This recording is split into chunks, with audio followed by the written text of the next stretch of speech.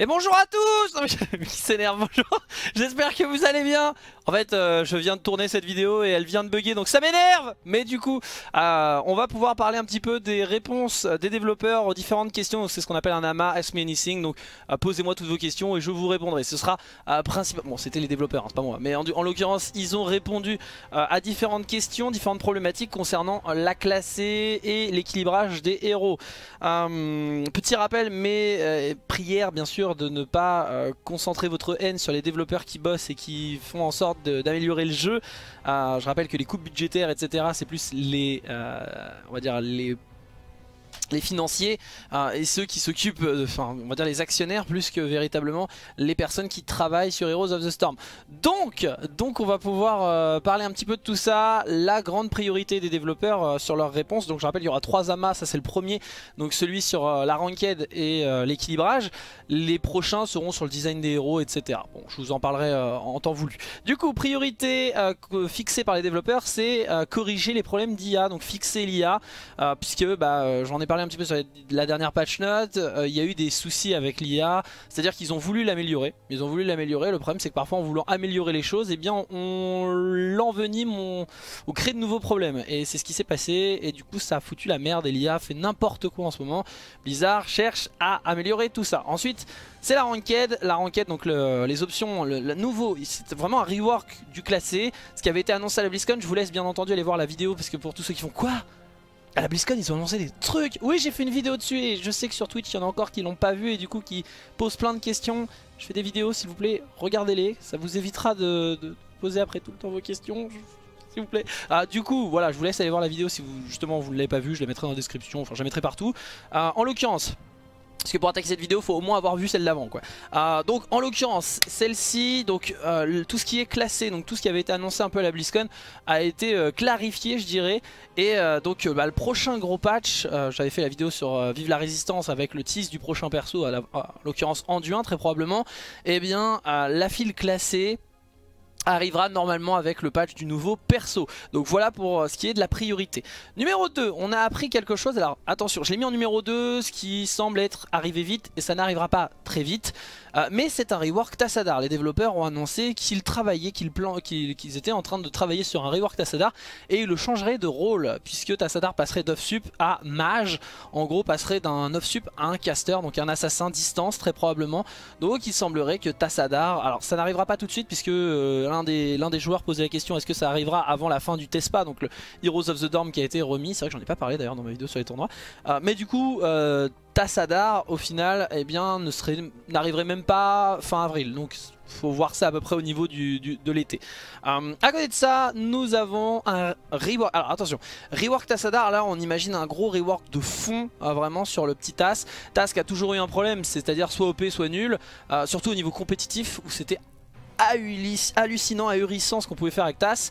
Euh, ça a toujours été un problème, donc peut-être que euh, éviter le problème, c'est tout simplement changer complètement son rôle. Euh, en l'occurrence, pour Shen, on n'a pas encore plus d'informations. Est-ce que ce sera comme Tassadar où il changera complètement de rôle? Pour le moment, ils nous ont vraiment laissé dans le flou.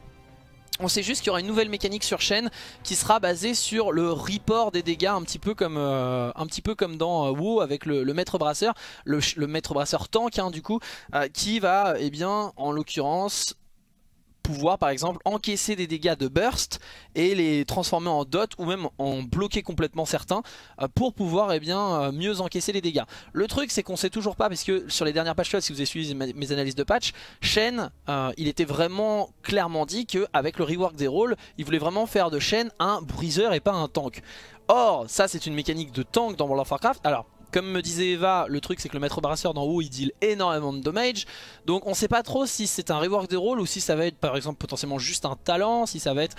Donc il est fort probable que le rework de chaîne soit un petit rework et pas vraiment un énorme travail de fond. Ou peut-être que je me trompe pas, peut-être que ce sera totalement l'inverse, on verra. Mais c'est vrai que sur les derniers mois, il semblait que Blizzard voulait en faire un bruiser. Et cette info là nous laisserait penser peut-être de faire un chaîne main tank. On verra ce que ça va donner. À côté de ça, le gros point bien sûr de euh, cet amas, c'est les nouvelles ranked, donc les nouvelles classées. Alors bien entendu, j'en profite pour le rappeler, c'est des, choses qui avaient été évoquées à la BlizzCon. On aura Premier point 1, la refonte des rôles tant attendue depuis au moins 3 ans, qui avait été davantage tease, notamment avec le t-shirt, euh, le t-shirt Heroes of the Storm en violet, hein, le sang des spécialistes évidemment, avec euh, du coup les 6 rôles, tank, bruiser, assassin mêlé, assassin distance, healer, donc qui est le support actuel, healer et off support mais qui s'appellerait support maintenant puisqu'il y aurait plus de, enfin, de off sup, le off sup deviendrait support et le support deviendrait healer. Donc voilà ce serait pour les, euh, les refontes des rôles. Mais ce que j'avais fait sur mes vidéos de rôle est encore plus valide qu'avant. Euh, au contraire, c'est une officialisation presque de, ce qu'on avait évoqué au niveau des rôles. Euh, donc ça, c'est la refonte des rôles qui arriverait avec les, les, en même temps que la refonte des classés. Alors vous allez me dire, mais pourquoi ils ont décidé de mettre tout ça en même temps? Tout simplement parce que ça, c'est un nouvel ajout qui va être absolument génial, c'est la présélection des rôles. C'est-à-dire que quand vous allez lancer votre petite ranked, votre petite classée, on va vous dire, eh bien, qu'est-ce que tu as envie de jouer dans cette classée? Tu veux jouer quoi Et du coup le mec il fera, bon bah là j'ai envie de jouer tank et pourquoi pas aller bruiser, il faut que je travaille ma front line, et eh bien vous pourrez sélectionner tank, bruiser. Alors ça ne veut pas dire que vous allez forcément jouer tank ou bruiser, mais ça va faire en sorte que quand vous allez arriver dans votre classé, et eh bien les autres joueurs verront que vous avez tag en tant que tank et bruiser. Donc ils pourront vous dire ok bon bah lui il va jouer tank ou mêlée et après bah, il faudra voir avec la team pour pouvoir choisir. Et ça c'est super bien parce que dès que, hum, dès que les gens rentrent dans le, dans, la, dans le draft en fait, on voit ah bah lui c'est un main sup, ok lui c'est un main machin, ok bon bah c'est un main sup, moi je peux me concentrer sur les assassins distance etc etc. Et ça c'est super intéressant. J'aurais peut-être dû le mettre en premier point mais euh, bon pour les retardataires, ceux qui ont été les mauvais élèves et qui n'ont pas regardé ma vidéo sur les annonces de, de, de, la classée, ce sera tout simplement une fusion de Team League et de Hero League, donc de solo queue et de Team League. Le truc, c'est que beaucoup maintenant se disent mais putain la solo queue on trouve plus personne, il n'y a plus personne sur ce jeu, blablabla blablabla blablabla. On sait bien sûr quand une file d'attente est trop longue, c'est qu'il n'y a plus personne euh, sur le jeu, bien entendu, hein, grosse ironie évidemment. C'est tout simplement que la HL va disparaître au profit de l'ATL. Euh, je le rappelle très rapidement parce que bon j'ai déjà, déjà, fait une vidéo dessus, mais tout simplement la HL est déserte à l'heure actuelle parce que bah, les gens préfèrent jouer avec leurs potes ou même préfèrent aller en TL parce qu'on tag plus vite. L'ATL du coup en fait il va y avoir fusion TL HL en fait vous pourrez toujours tag en TL en mode avec une option en mode je veux tag solo et je veux donc affronter des mecs solo ou euh, bah les couilles et je joue en duo, trio, quadri, quatuor ou euh, à 5 tout simplement. Le truc c'est que euh, en fait l'idée c'est que ça sert à rien d'avoir un mode de jeu à chaque fois où il y a plein de joueurs et un autre qui est quasiment vide ce qui fait que dans l'autre bah, les files d'attente sont longues. L'idée c'est que maintenant vous pouvez choisir les deux modes mais la recherche se fera avec les mêmes joueurs. Ce qui fait qu'au lieu d'avoir deux modes pour deux fils, vous avez une file pour deux modes. C'est bravo Blizzard. Hum, c'est un très bon choix. Ensuite, d'ailleurs ils ont répondu à une question de certains joueurs qui étaient en mode oui mais pour la QM, est-ce que vous avez fusionné la non classé la QM bah non Mais euh, il va y avoir, on va, va, reparler, euh, on va en reparler plus tard. Le plus haut rang, alors ça, ça, ça c'est un truc que j'aime pas. Je veux dire, toutes les annonces sont bien, et celle-là, euh, ah, elle fait grincer des dents. Hein. Pourquoi? Ce qui a été annoncé, alors il y a eu plusieurs, plusieurs euh, développeurs de Blizzard qui ont répondu à ça. Il y en a un qui a répondu davantage que les autres, et il indiquait que euh, ce sera le plus haut rang qui sera choisi entre les deux. C'est-à-dire que si vous êtes Gold en solo queue, mais Master en TL,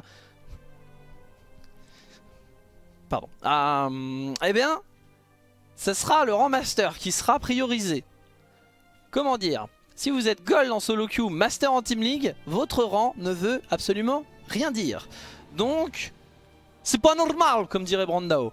Euh, donc là, j'avoue que moi, ça me laisse de marbre et plus que de marbre hein, ça, me fait peur même hein, ça me fait peur parce que ça ce serait nul à chier. Euh, à la base ce qui avait été évoqué c'était potentiellement une moyenne des deux euh, ce qui aurait été intéressant parce que comme ça si vous êtes master en solo queue master en team league bah vous serez master en fait. Euh, et inversement par exemple si vous êtes gold et si, vous êtes gold 1 en je sais en solo queue mais vous êtes silver 5 en TL bah ça va vous ramener peut-être en gold 5 une moyenne aurait été plus intéressante le truc, euh, un autre dev a répondu quelque chose sans vouloir vraiment aller à l'encontre, mais il disait que ce serait, en fait, il y aurait peut-être, donc on sait pas encore, on sait pas du tout, ce qui sur le papier indique le plus haut rang, mais vu les réponses après qu'ils ont pris dans la gueule, j'espère qu'ils vont bien le comprendre, parce que ça c'est débile. Euh, ce qui va peut-être être mis en avant, et là je comprendrai un peu plus, c'est qu'en fait, il y aurait une moyenne des deux, mais avec un coefficient plus grand pour le meilleur rang, en fait. C'est-à-dire, voilà, je vous ai perdu. Eh bien, en fait, par exemple, si vous êtes Silver 5 et Gold 1, ils vont faire la moyenne des deux, ce qui devrait amener en gold 5 à peu près. Sauf que le plus haut des rangs va avoir un meilleur coefficient et du coup potentiellement vous amener en gold 3 au lieu de gold 5. Voilà dans l'idée. Ce serait une moyenne qui avantage le meilleur des rangs en fait. Donc moi ça je trouverais ça pas si dégueu. Ça fait qu'un mec par exemple qui est gold en solo queue et euh, master en TL, bah il sortira pas master, il sortirait euh, platine 1 par exemple, un truc comme ça ce serait peut-être au-dessus de son level, mais ça, ça niquerait pas non plus le master. Donc euh, ça, moi, j'aimerais bien. Ça, j'aimerais bien. Des mesures anti-smurf ont été prévues. Et ça, bravo Blizzard. Parce que l'un des problèmes à l'heure actuelle, en Team Link notamment, c'est qu'il y a 4 joueurs qui vont tag en étant Master, Grand Master, et ils vont jouer avec un Smurf, à savoir pas un joueur par exemple qui est Platine, pas un joueur qui est Gold, mais un nouveau compte qui va sortir en Gold ou en Platine pour faire baisser euh, les lots euh, de la file, et du coup pour créer une moyenne avec 5 Masters et un Gold, et bah ça va ramener contre des joueurs par exemple bas diamant, et euh, le truc c'est qu'ils vont affronter 5 diamants, or les diamants ils ont pas du tout le niveau, et que le mec, bah, le Smurf il est pas Gold ni Platine, il est au final Master aussi, et du coup il nique le jeu et il monte comme ça en, TL grâce à ces... Euh, bah, c'est de l'abus, hein, c'est tout simplement de l'abus et Blizzard a prévu un contre à cela, c'est tout simplement maintenant que le plus bas, enfin le, rôle le plus bas ne sera pas pris en compte dans la file. C'est-à-dire que s'il y a 4 masters et un silver qui tag ensemble, eh bien ça sera considéré comme une rank 5 masters. Donc c'est pas mal du tout, ça c'est vraiment pas mal du tout. Le truc c'est que si vous jouez vraiment avec un silver, bah Dommage. Euh, si par exemple il y a deux comptes par contre, euh, un silver, deux silver avec trois masters, bon bah là ils feront une moyenne avec euh, trois masters, un silver. Mais bon, ça veut dire qu'il y a deux silver dans l'équipe. Bon, on peut pas avoir un système parfait, bien entendu. A l'inverse, si vous avez 4 silver avec un master, euh, le master sera quand même pris en compte, hein, bien sûr. Ce sera pas face à full silver, il sera pris en compte, mais du coup, eh bien, ça fera comme en game viewer, hein, savoir euh, une moyenne de toutes les lots et en face, eh bien, ce sera la moyenne de tous les lots. Donc, par exemple, si c'est un master avec full silver, bah, vous affronterez des platines, quelque chose comme ça. Euh, à côté de ça, la MMR visible, alors elle est toujours en débat. Ça, c'est dommage parce que c'est quelque chose qui avait été annoncé à la BlizzCon, la MMR visible, mais au sein même des développeurs et de la communauté, c'est apparemment ça fait débat chez les développeurs. Certains ont des arguments solides. Alors ils n'ont pas évoqué les arguments, mais des arguments solides pour dire que la MMR visible, c'est pas forcément non plus une très bonne chose. Donc il y a des débats en mode est-ce que la MMR doit être visible que pour le joueur? Est-ce qu'elle est visible pour tout le monde? Enfin, il y a vraiment des débats autour de est-ce qu'il faut mettre la MMR visible? Hum, Beaucoup sont en faveur de la MMR visible. Moi je vous rappelle juste quand même que bien sûr tout le monde est en mode oui la MMR visible c'est bien. N'oubliez pas que si la MMR euh, est visible, ça fait aussi qu'il peut y avoir de la frustration parce que si vous êtes bloqué à votre elo, voyez que votre MMR bouge pas et il y a ce sentiment de frustration qui peut monter. Je pense que c'est ce qui fait le, ce qui fait le, frein on va dire des développeurs peut-être. Parce que bah qui dit frustration dit eh, je vais aller sur Fortnite et puis euh, voilà. Euh, donc ça c'était pour euh, les principes par rapport à la ranked. Je crois que je n'oublie rien concernant, concernant la file classée. Donc euh, toujours avec le principe que euh, votre rang sera en fonction de la... Alors c'est ce qui avait été annoncé à la BlizzCon, ils sont pas, sont pas revenus là-dessus, mais il semblerait que les rangs soient en fonction euh, de votre MMR. Normalement ce sera ça. Alors est-ce que la MMR sera visible ou pas Je ne sais pas. En tout cas, numéro 5, une file pour les nouveaux joueurs. Alors qu'est-ce que j'entends, qu'est-ce qu'ils entendent par fil nouveaux joueurs? En fait, il y a un problème, c'est que à l'heure actuelle, les nouveaux joueurs euh, mettre du temps tag parce que Blizzard essaye de les mettre dans des fils avec uniquement des nouveaux joueurs et parfois eh bien, ça peut être le problème. Euh, le souci c'est quoi? C'est que bah, les fils doivent être courtes, c'est ce que Blizzard dit, bien sûr on comprend, il faut que les nouveaux joueurs puissent trouver des games rapidement. Le problème c'est que parfois certains joueurs peuvent ne pas être très compréhensifs envers nouveaux joueurs.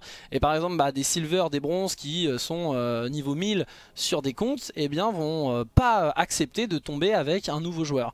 donc c'est le problème, c'est tout le problème. Donc euh, Blizzard pense à faire des choses pour les, nouveaux joueurs.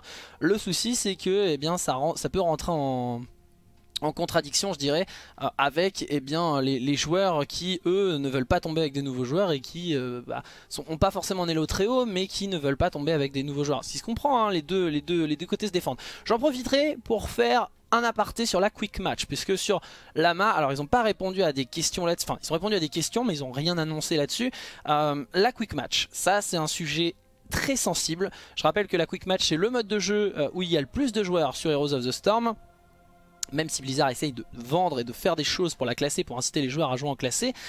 Et la file pour les nouveaux joueurs, bah, ça me permet d'avoir une transition sur la quick match. En l'occurrence, la quick match, il y a un énorme débat puisque beaucoup n'ont pas compris les changements de Blizzard et n'écoutent pas ou ne regardent pas les, les, sites où il y a les annonces. Et du coup, Blizzard, euh, après la BlizzCon, ce n'était pas du tout une perte de joueurs, euh, c'était même en continue de monter juste après la BlizzCon.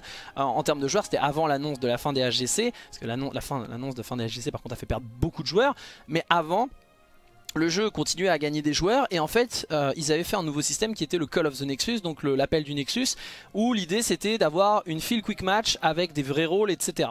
Le problème c'est que les gens sont cons, les gens gueulent pour tout et pour rien, donc les joueurs veulent des quick match avec des vraies compositions, mais d'un autre côté ils veulent pas attendre. Imaginez le problème Donc, euh, comme les gens sont cons, Blizzard a dû modifier le système, c'est-à-dire que les gens n'arrêtaient pas de se plaindre en mode on veut des vraies compositions en quick match. Au lieu de mettre une infobulle en mode bah écoute si tu veux une vraie composition va en unranked, eh bien ils avaient mis en place un principe comme quoi voilà les joueurs qui taguent en tant qu'en sup, ça c'est vachement bien, ils gagnent de l'expérience supplémentaire. Mais le problème c'est que du coup, eh bien, on voulait des vraies compositions en quick match. Ça mettait des files d'attente très très longues parce que bah, tout le monde a envie de jouer à 5 distance. Et du coup, il n'y a pas de tank et pas de support pour pouvoir trouver des games rapidement. Si vous avez joué à MMO, vous connaissez le problème. Ah, donc, le souci, c'est que Blizzard eh bien, a annulé juste avant Noël parce que c'est devenu ingérable. Ils ont annulé ces changements-là et ils sont repartis sur l'ancien système, à savoir le, système du miroir. Vous taguez à 5 assassins distance, en face il y a 5 assassins distance dans la plupart des cas. Et c'est ce qui fait euh, à l'heure actuelle la quick match normale. C'est ce qui fait que les temps d'attente sont beaucoup moins longs en QM. Donc c'est un énorme problème parce que beaucoup de joueurs veulent quand même ce genre de choses. Donc il y a des, solutions qui sont potentiellement apportées. Par exemple, il y avait une idée d'un des joueurs qui était de, euh, par exemple, de faire en sorte que vous cochiez quand vous acceptez, quand vous taguez en QM, vous avez une option à cocher en mode je m'en fous de la composition ou la composition m'intéresse et à ce moment-là, eh bien vous acceptez, on va dire, d'attendre un petit peu plus longtemps pour pouvoir trouver. Et Blizzard a trouvé ça très intéressant. De leur côté, ils essayent aussi d'amener des, des modifications. Donc ce genre de choses pourrait à l'avenir arriver. Moi, j'espère juste qu'un jour il faut une putain d'infobulle en mode si vous voulez des vraies compositions à aller en putain de non classés, ce serait quand même très sympa. Euh, sixième point, le soutien à l'e-sport. Je sais que ça, ça fait grincer des dents, bien entendu, moi le premier. Euh, parce que pour ceux qui ne me connaissent pas, je suis caster Heroes of Storm, incroyable, salut. Euh, du coup, le soutien e-sport, c'est quoi? Beaucoup se disent, attendez, c'est quoi cette annonce? Ils se foutent de notre gueule, ils ont arrêté les AGC, et maintenant ils disent qu'ils veulent soutenir l'e-sport.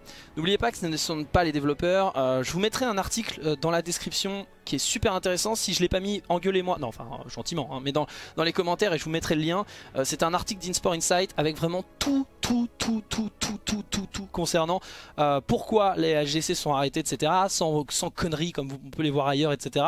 Très intéressant et en l'occurrence... Eh bien, euh, en plus c'est sur un seul, un seul article et pas besoin d'aller sur plein plein plein d'articles, ils ont vraiment tout résumé, euh, très bien. Et euh, en l'occurrence, en fait, Blizzard par exemple soutient l'e-sport. Moi, ils m'ont aidé à la Nexus Cup par exemple. Alors, ils n'ont pas financé le truc, hein, mais ils ont filé des goodies, etc.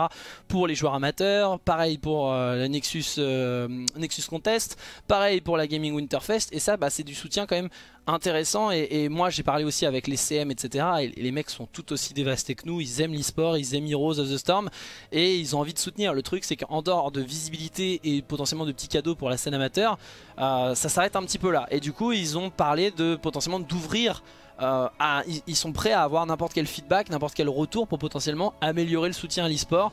Mais à l'heure actuelle, il n'est pas prévu. Ben, les devs, euh, c'est pas eux qui choisissent. Hein. Je rappelle que à la base, les AGC 2019 devaient arriver avec potentiellement même, enfin c'est même pas potentiellement, c'est sûr. On aurait dû avoir les playoffs en LAN, ce qui rend encore plus dégoûté. Euh, et finalement, eh bien. Diablo Immortal, tout ça, tout ça, hein, baisse des actions, hein, financier. donc niveau 7, 7 point, les conseils en fin de partie, c'est quelque chose d'assez intéressant puisque Blizzard essaye d'améliorer en fait l'éducation.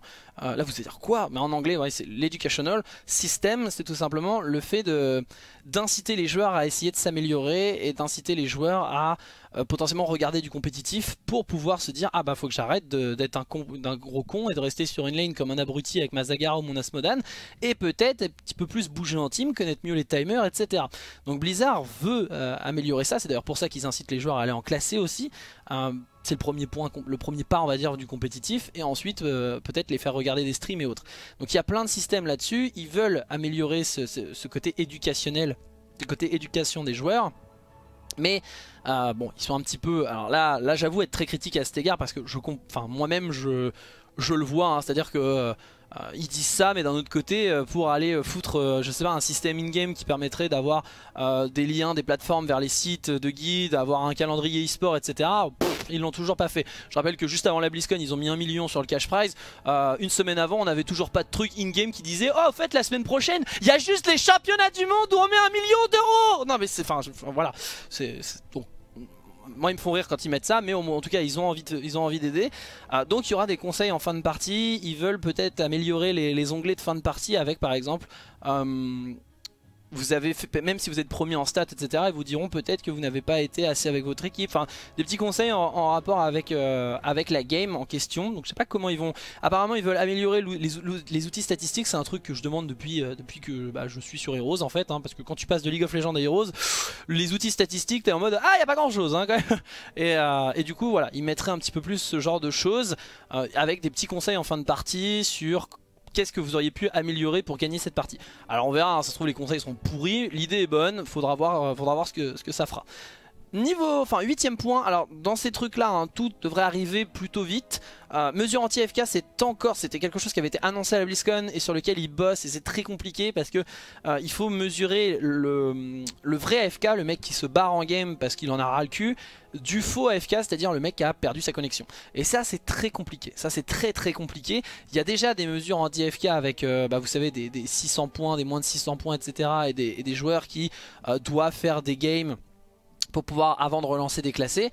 Le truc ce serait euh, potentiellement donc des mesures qui feraient que l'équipe qui a un AFK ne perd pas de points ou en tout cas perd beaucoup moins de points euh, s'il y a une AFK dans la partie. Donc ça c'est un système qui met en place mais le truc c'est faudrait faut éviter aussi les abus parce que ça c'est aussi la difficulté. Ça se trouve il y en a un, ils se mettent d'accord, il y en a un qui quitte la partie pour pas que euh, les autres perdent de points. Donc ça c'est c'est très compliqué à mettre en place et Blizzard dit justement qu'il bosse activement dessus mais c'est pas encore prêt à être sorti euh, sachant voilà que je vous ai évoqué les problèmes qui font que ça, soit, ça mette autant de temps à sortir le problème de l'abus, le problème de, savoir si c'est un vrai FK ou un mec qui a perdu sa connexion et autres.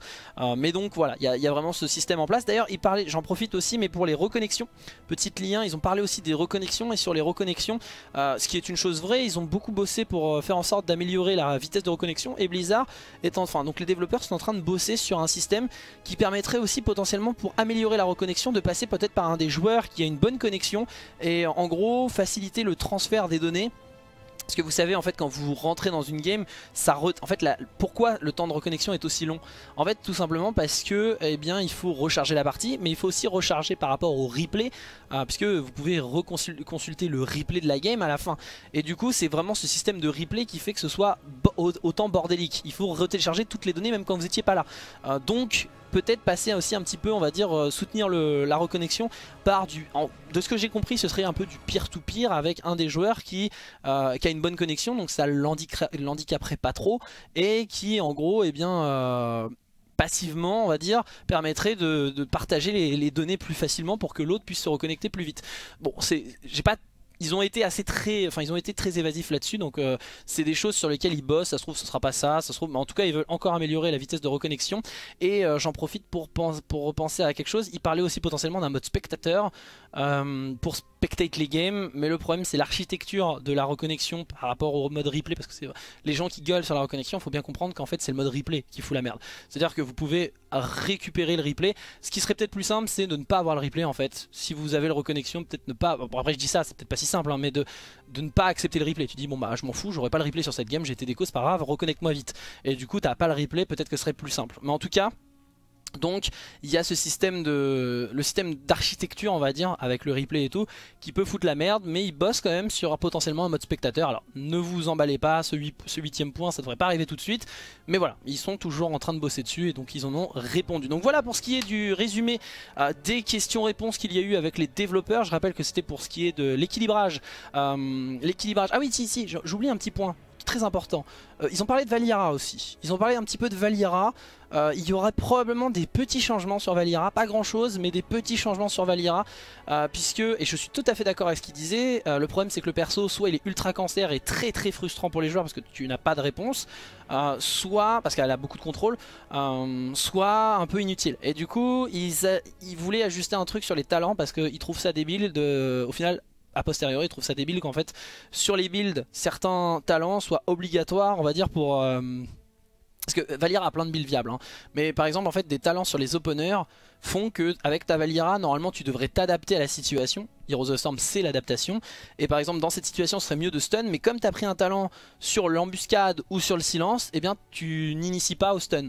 Et du coup Blizzard veut travailler là-dessus en virant potentiellement les talents sur les openers pour favoriser la flexibilité de votre opener ça je trouve ça vraiment intéressant l'idée. Mais voilà c'était un petit point. Ils sont, en ils sont à l'étude mais on n'est pas sur un rework Valira. Ce serait potentiellement une petite modification des talents sur les openers. Voilà dans l'idée. Mais moi je trouve ça vraiment intéressant. Donc voilà pour, euh, pour ce qui est des questions réponses des développeurs. On le rappelle c'était sur l'équilibrage et sur la classée. Les prochains devraient être sur le design des héros et autres. On fera probablement un live où euh, on récupérera plein de questions. On fera un petit, un petit dossier et on enverra ça à Blizzard. Euh, on verra s'il y aura des réponses. Donc voilà pour ce qui est de pour ce qui est justement de la main moi je vous fais plein plein de bisous. On se dit à bientôt pour une prochaine vidéo. N'hésitez pas à partager, n'hésitez pas à liker, n'hésitez pas à vous abonner à la chaîne YouTube, euh, puisque à mon avis il y a beaucoup de personnes qui vont s'intéresser à ça, donc n'hésitez pas. Moi je fais plein de bisous, on se dit à bientôt pour une prochaine vidéo, à plus dans l'excuse.